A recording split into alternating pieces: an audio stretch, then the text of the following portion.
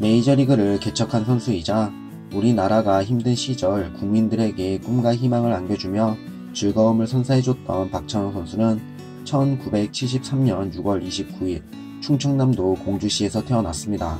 어린 시절부터 뛰어난 운동신경으로 육상부에서 선수 생활을 했던 박찬호 선수는 학교 운동장에서 라면을 먹고 있는 야구부를 보고 친구들과 함께 야구부에 입단하게 됩니다. 당시 운동장에 큰 솥이 있었습니다. 훈련을 시작하기 전 항상 야구부가 그곳에서 라면을 끓여 먹었어요. 그게 너무 먹고 싶고 부러웠던 나머지 친구들과 함께 야구부에 입단하게 됐습니다. 라며 야구를 시작한 이유를 말해 주었습니다. 라면이 먹고 싶어서 들어간 야구부였지만 야구의 매력에 빠지는 데는 그렇게 오래 걸리지 않았고 초등학교 3학년 시절 본격적으로 야구를 시작하게 됩니다. 그리고 초등학교 5학년 시절 어머니의 헌신을 알게 된 뒤 프로야구 선수가 되는 것을 꿈꾸게 됩니다. 초등학교 5학년 때 자다가 화장실을 가게 됐습니다. 근데 이곳에서 어머니가 제 유니폼을 손빨래 하시는 걸 봤어요. 흑투성이 유니폼이 아침마다 깨끗해지는 비밀을 알게 됐습니다. 그 모습을 보고 울면서 잠이 들었습니다. 이때 야구로 성공해서 세탁기를 사드리겠다라는 다짐을 했었습니다. 제 인생 첫 번째 꿈이었어요.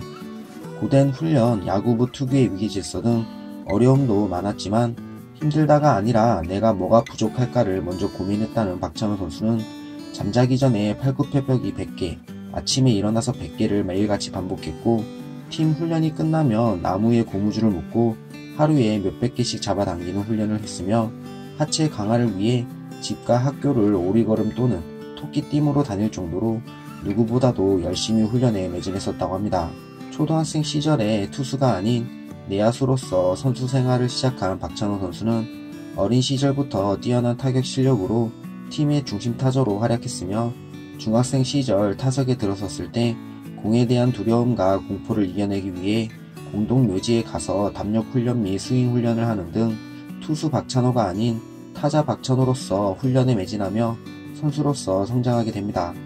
그러나 중학교 2학년 시절 감독님의 권유로 3루수에서 투수로 포지션을 바꾸며 우리가 알고 있는 투수 박찬호 선수가 탄생하게 됩니다. 이 당시를 회상한 공주중학교 오영세 전 감독님은 찬호가 당시 체격은 크지 않았지만 손이 크고 공을 채는 능력이 뛰어났습니다.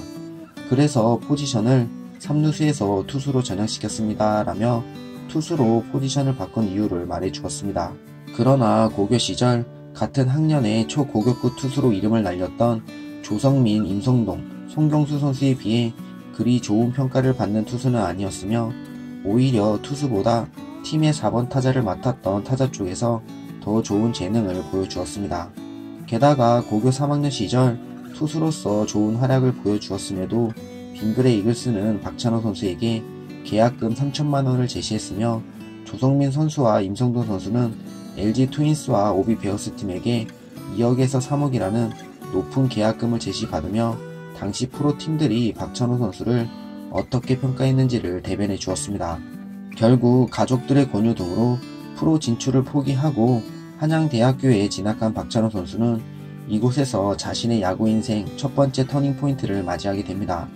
대학교 1학년 시절만 해도 동급생이었던 차명주 선수에게 밀리며 국가대표팀에도 선발되지 못했지만 대학교 2학년 시절 강혁 선수의 부상으로 인해 생긴 빈자리를 차지하며 국가대표팀에 합류하였고 어렵사리 미국 버펄로 하계 유니버시아드 대회에 참가하게 됩니다. 이 대회가 미국에서 열리는 만큼 많은 메이저리그 스카우트들이 방문하였고 모든 관심은 대학 최고의 투수였던 임선동 선수와 조성민 선수에게 쏠렸습니다.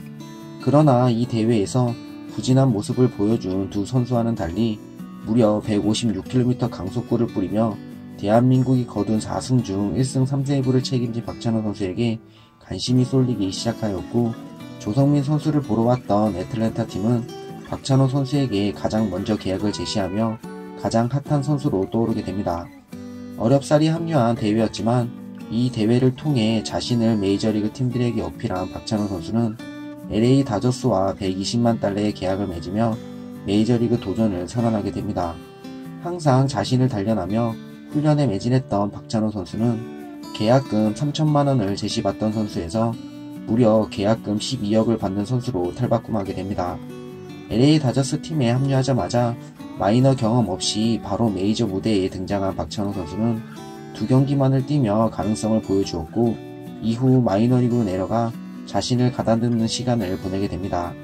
그리고 2년 뒤 1996년 시즌부터 풀타임 메이저리그로 올라선 박찬호 선수는 1997년부터 선발로 활약하며 14승 8패, 방어율 3.38, 탈삼진 166개를 기록하며 뛰어난 활약을 보여주었습니다. 이 시절 IMF로 인해 힘든 날들을 보내고 있었던 우리나라 국민들에게 꿈과 희망을 안겨주었습니다.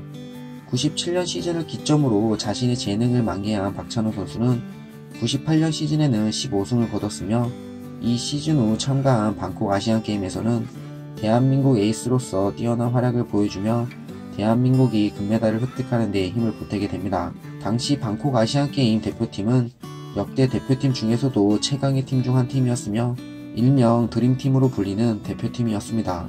99년 시즌에는 13승을 거뒀으며 2000년 시즌에는 18승 10패, 방어율 3.27, 탈삼진 217개를 기록하며 에이스급 활약을 보여주었고 2001년 시즌에도 15승 11패, 방어율 3.50, 탈삼진 218개를 기록하며 뛰어난 활약을 보여주었습니다. 특히 97년부터 5년 연속 190이닝 이상을 던졌으며 2000년 시즌에는 226이닝, 2001년 시즌에는 234이닝을 던지며 선발 투수로서 중요한 이닝 히터의 모습도 보여주었습니다.